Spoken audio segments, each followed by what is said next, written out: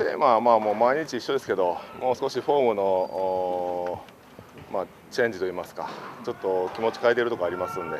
まあ、それに早く対応できるようにっていうのと早くピークを作りたいと。疲れのピークを早めにっていう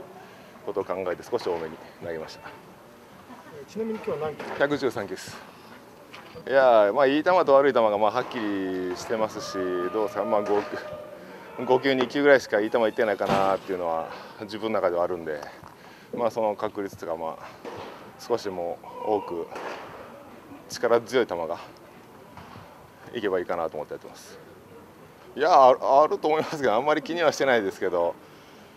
ああると思います。はいあ第2クールでは、まあ、どうですかね、まあ、バッティングピッチャーもしくはシートバッティングは入れたいなっていうふうに今の現段階では考えてます。プランはもう、あのまあ、開幕が早いっていうのはもう分かっていることなので、えーまあ、そこに合わせて、まあ、1月の半ばから結構強めに投げてるんで早い間に疲れのピークを持ってきて早く疲れを取りたいなと、まあ、本当にあの例年より